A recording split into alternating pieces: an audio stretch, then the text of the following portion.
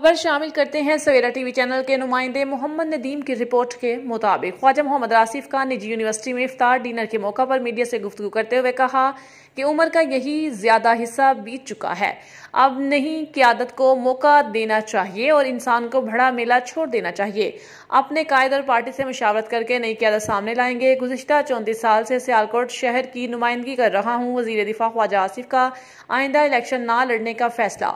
उन्होंने मजीद कहा कि मैं शहर इकबाल का शुक्रिया अदा करता हूँ कि जिन्होंने मुझे इस कदर इज़्ज़त बख्शी है, मेरी नस्लें भी इसका एहसान नहीं दे सकती। अगर ये दौरे इकतदार ने तकमील के मराहल मुकम्मल किए तो मेरी इस शहर के लिए चालीस साल खदमात मुकम्मल हो जाएँगी। मैं उम्र के जिस हिस्से में हूँ, मुझे इसका भी अदराक है। सियालकोट में सात मनसूबे शहर इकबाल के लिए बहुत ज़रूरी हैं। सियालकोट शहर से तमाम सरकारी दफातर शहर से बाहर मुंतकिल होने चाहिए।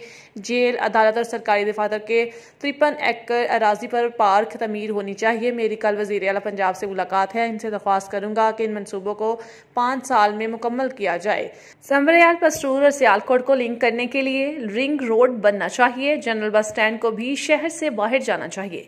शहर इकबाल में तजावजात के खात्मे के लिए ऑपरेशन जारी है। ख्वाजा मोहम्मद आसिफ ने मजीद कहा कि टेक्नोलॉजी की यूनिवर्सिटी के क्याम के लिए बात की है। इस यूनिवर्सिटी के लिए ज़मीन मौजूद है।